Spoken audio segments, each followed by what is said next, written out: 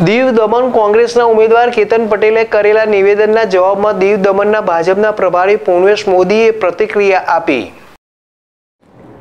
આંકડાની દ્રષ્ટિની વાત કરીએ તો બે હજાર ચૌદમાં સત્તર કરોડ ભાજપને મત મળેલા ત્યાર પછી બે હજાર ઓગણીસમાં ત્રેવીસ કરોડથી વધુ આ વખતે આપ જોઈ શકો છો કે આ રીતના સતત ભારતીય જનતા પાર્ટી પ્રત્યે ગ્રાફ વધતો જાય છે.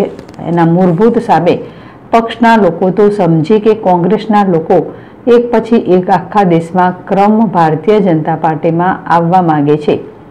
કારણ બહુ સ્પષ્ટ હતું કે જ્યારે શ્રી રામ જન્મભૂમિ મંદિર ઉપર રામલલ્લાના પ્રાણ પ્રતિષ્ઠા મહોત્સવનો કોંગ્રેસ બહિષ્કાર કરે ત્યારે સ્વાભાવિક છે કે કોંગ્રેસના નેતાઓ એક પછી એક બીજી સારી પાર્ટીમાં નજર રાખીને જતા રહે. ભાજપ મોટો થતો જાય છે એટલે ઇન આઉટનો પ્રશ્ન નથી. ભાજપ નાના મોટા કામમાં જવાબદારી સોંપી બધાને ઉપયોગ કરતી આવી છે. ચૂંટણી સમયે બધા પાત્રો આપતા હોય છે. દરેકના પોતપોતાના અલગ અલગ કોન્સેપ્ટ હોય છે. કોઈ પોતે આપતો હોય છે કે કે કોઈ કોઈના દોરી સંચારમાં આપતો હોય છે. તો આ તો બધું સાત તારીખ પછી ચર્ચા વિચારણા બધું જોઈશું અત્યારે અમારું લક્ષ્ય માત્ર અર્જુનને પક્ષીની આંખ દેખાતી હતી. તેમ અમારે સાતમી તારીખે વધુમાં વધુ મતદાન થાય અને ઉનાળાનો સમય હોય, ત્યારે સવારે સાતથી દસના સમયમાં મતદાન પૂર્ણ કરે. તેમજ પ્રત્યેક કાર્યકર જનસંપર્ક કરે અને આ રીતે મતદાન મથક ઉપર મતદારોને લઈ જવા માટે પ્રેરિત કરે. આ અમારો લક્ષ્ય છે. ખાસ કરીને કોંગ્રેસના બાબા આવ્યા હતા, એમની બધી વાત કરી છે. મેં પણ સ્પષ્ટ કહ્યું છે કે જવાહરલાલ નહેરુ પછી રાજા તરીકે ઉત્તરાધિકારી ઇન્દિરાબેન ગાંધી. ઇન્દિરાબેન ગાંધી પછી રાજા તરીકે પ્રસ્થાપિત તરીકે રાજીવ ગાંધી.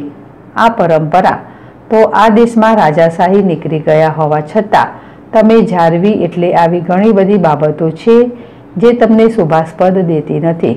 વિકાસ એ ભારતીય જનતા પાર્ટીનો મૂળ મંત્ર છે.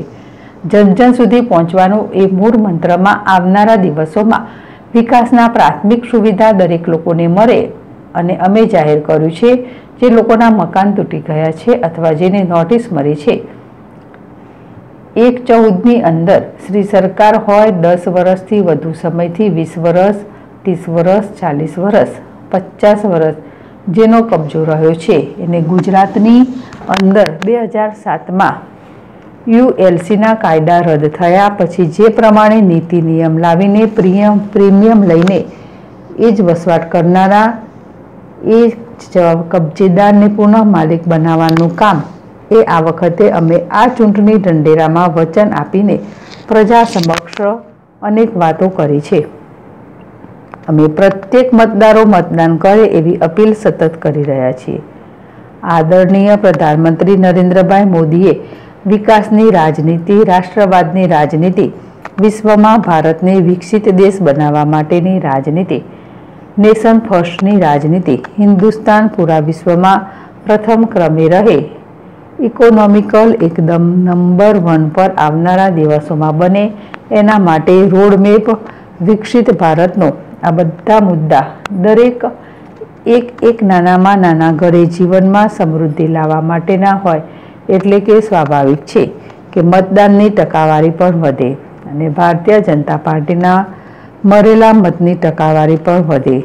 એ આ વખતની દીવ અને દમણની ઇલેક્શનમાં આપ જોઈ રહ્યા છો. હુસેન ભાદરકા, જેડેશ ટીવી, ઉના.